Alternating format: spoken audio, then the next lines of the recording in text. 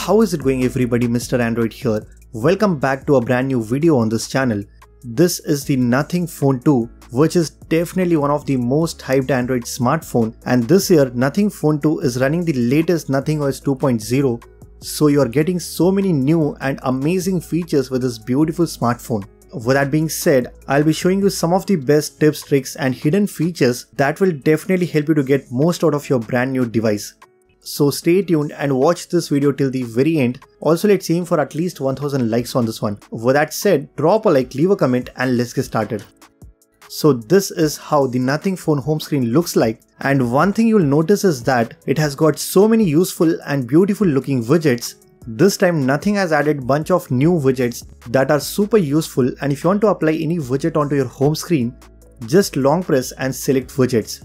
Here you get bunch of brand new Nothing widgets that looks really cool and the best part is now you can add quick settings widgets directly onto your home screen for easier access. You can choose from any of these options we have Wi-Fi, Bluetooth, torch, dark mode, DND, auto rotate and you can even add a widget to turn on the glyph lights. I think these widgets are super useful.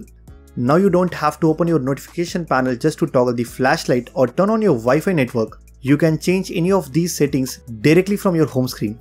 And since we are talking about widgets, did you know you can now add these widgets to your lock screen as well? All you need to do is just go into settings, select lock screen and here you get this option that says lock screen widgets.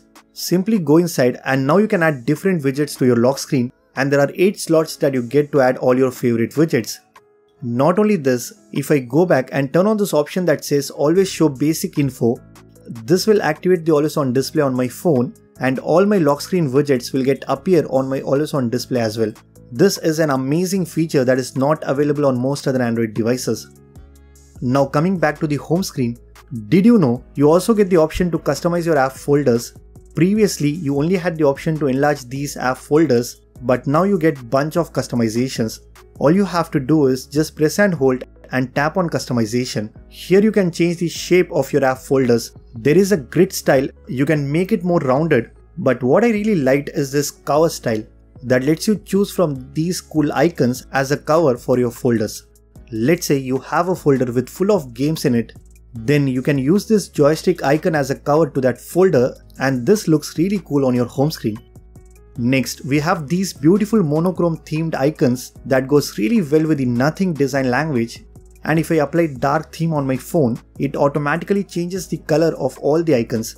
Now if you really want to change and customize your app icons, again press and hold, tap on customization, select icon pack and here you can choose between the default stock icons and we also got this nothing icon pack that comes pre-installed in this phone. Apart from this, you can also apply third-party icon pack that you have downloaded from the Play Store and the pack that I'm currently using is called Nothing Adaptive. I think these icons look great on my home screen and since it has a combination of red and white, it goes really well with the Nothing design and honestly it looks even better than the Nothing stock icons. Moving on, let's talk about one of the most useful feature of this phone that is the glyph interface. With Nothing Phone 2, they have added some useful features to this glyph lights. First of all, there is a new feature called Essential Notification.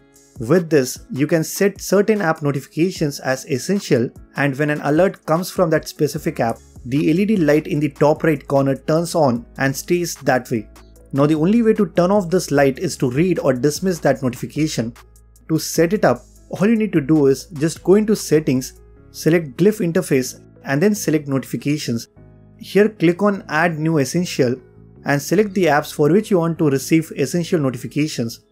You can also see the volume level here when the phone is locked. If you increase or decrease the volume, it shows on the back and this comes handy when you are listening to your favorite music.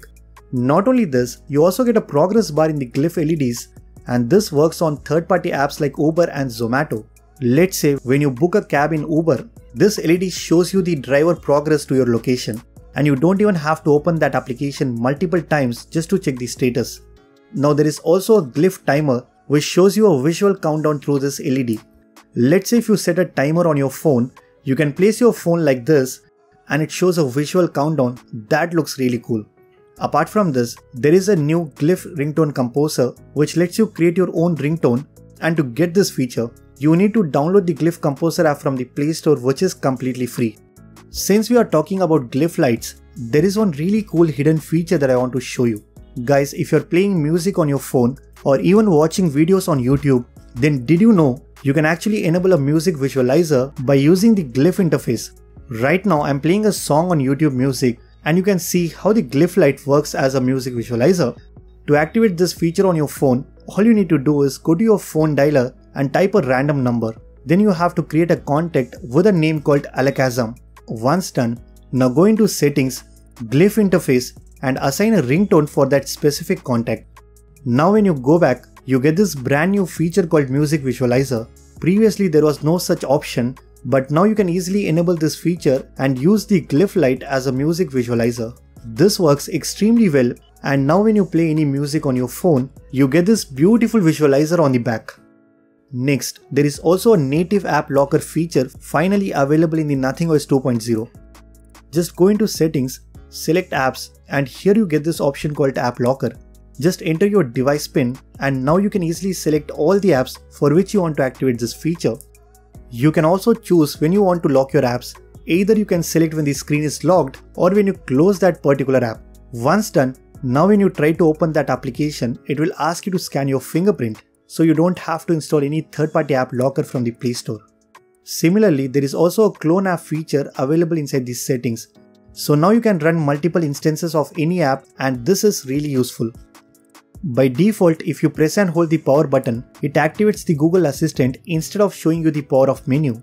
To fix this, just go to the settings, select apps and then select assistant. Here you will see something called as hold for assistant. If it is already enabled on your phone, simply turn it off. Once that is done, now when you long press the power button, you will get the power off menu. If you want to open any app in a floating window, then the easiest way to do it is just drag and release the app towards the upper portion like this. You can then resize the window as per your requirement. Similarly, if you want to open apps in a split screen view, just go to recent menu, tap on the app icon and click on open in split screen. Now you can select the other app which you would like to open. Next in these settings, if you go inside notifications, you'll have this option called notification history. You can enable this feature if you want to keep a track of all the notifications that you receive on your phone. There are times when you delete some important notifications by mistake. In such situations, you can definitely make use of this amazing feature. Once you set up your phone, you'll not see the battery percentage in the status bar. But you can enable that by going into the battery settings and here turn on this option called show battery percentage. Another cool feature I want to show you is that when you just open your quick settings, press and hold on this torch toggle, it activates the glyph torch instead of the normal flashlight, which is definitely much brighter.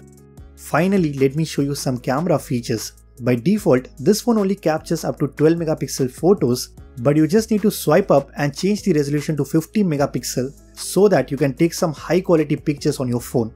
Similarly, when you record videos, you also get the option to record videos at 4K resolution. Just tap about to change the video quality. Next, if you click on more, you get various modes. If you want to take macro shots, then you can use macro mode. And we also get the expert mode that only work for photos. You can adjust the ISO, white balance and the shutter speed as well. I think the camera features are very limited in this phone and I hope nothing will add more features with the upcoming software updates. So that's pretty much it for this video. These are some of the best tips, tricks and hidden features for the Nothing Phone 2. If you guys like this video then be sure to hit that like button, subscribe to this channel if you haven't already. I am Mr. Android and I'll see you guys in the next one.